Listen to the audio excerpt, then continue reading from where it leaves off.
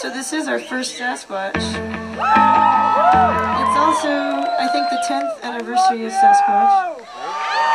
So one out of ten, but. Ha. Thanks, Sasquatch.